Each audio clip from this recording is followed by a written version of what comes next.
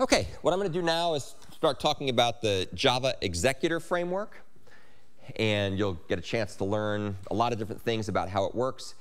First thing to remember is that the Java Executor Framework has a lot of pieces.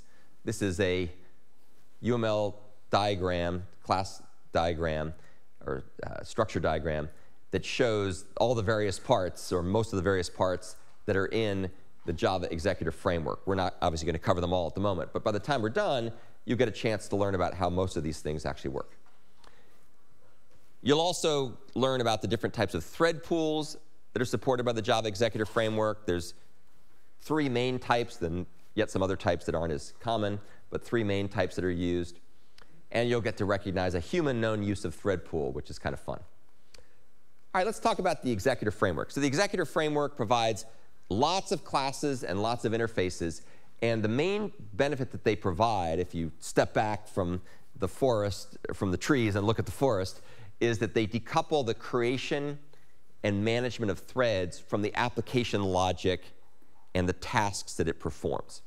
So the idea here is that you're going to be able to de decouple the tasks to do from the way in which threads are created and which threads are managed. And the framework hides a lot of those details from you, so you can modify and change things without breaking a lot of your code. The way in which you access, the way in which you typically access the mechanisms that are provided by the executor framework is via this utility class called the executors class. And as we'll talk about later, the executors class has all kinds of factory methods that you can use to allocate various kinds of things.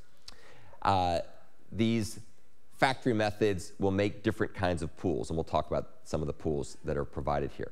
You've already got a chance to play around with some of this stuff in earlier assignments. So obviously we need to talk about what's a pool. So let's motivate why we need thread pools in the first place. Concurrent programs often have, typically have to handle large numbers of clients. Uh, if you build a server, for example, a web server, you may have to handle thousands of client requests simultaneously. So this is supposed to be a bunch of clients out there all accessing some big honking piece of hardware.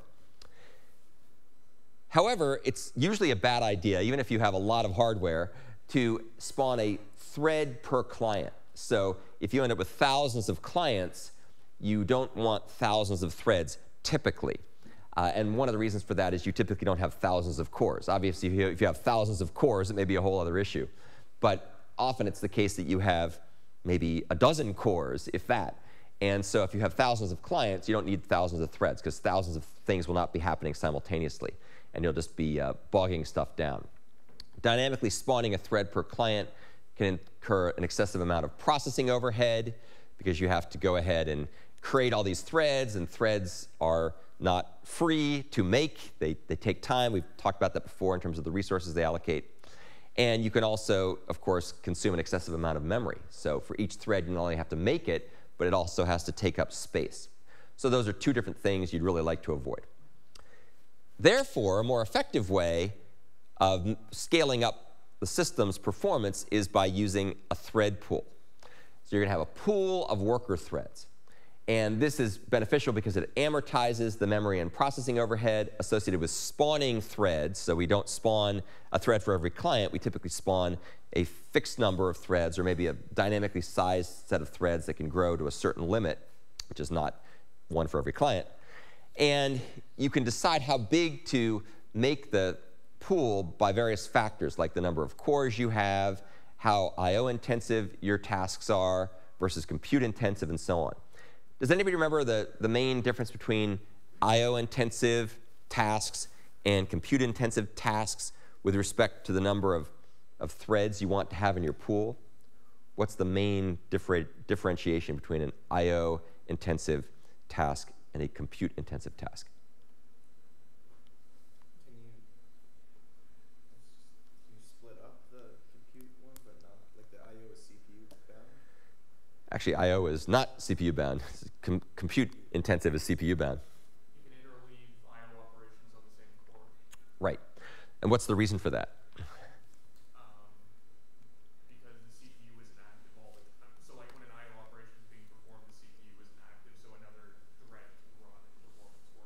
Exactly. So Austin's observation, which is correct, is that with I.O. intensive tasks, an awful lot of time, the thread is blocked waiting for I/O, or you know, either writing something or reading something from a slower mechanism, a slower media, right, like a disk or a network or flash memory, anything that's slower than memory, main memory.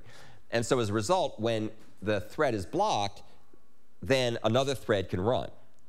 Whereas with a compute intensive operation or CPU intensive, um, those things just run. And so they typically don't stop unless they stop themselves voluntarily. So as long as something's running in a compute intensive way, then you're going to uh, not benefit from having lots of threads. Spawning lots of threads that are compute intensive is pointless because only as many threads will possibly run as there are cores.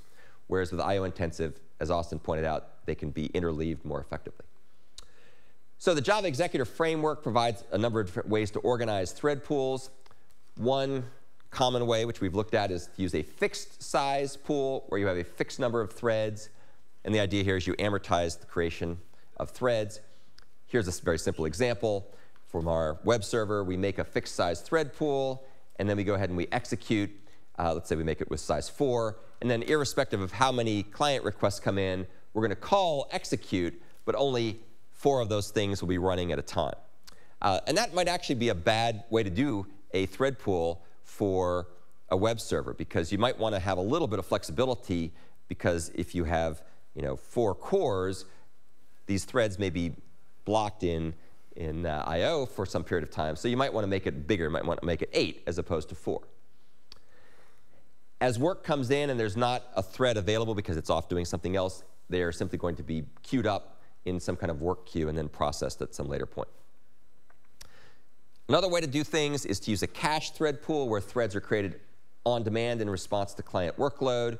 So we do that by the new cached thread pool factory method. As you can see here, similar looking logic, but every time execute is called, it'll go ahead and create a new thread if there isn't one already. Now, that also may be a problem as well, because uh, if you have lots of clients show up, you could end up creating hundreds or thousands of threads, right? This could end up being about as bad as the um, earlier approach with spawning a thread per client. So that could be a problem. If the threads are not used for a certain amount of time, like say a minute, then they can be shut down, or a second or whatever, they can be shut down automatically.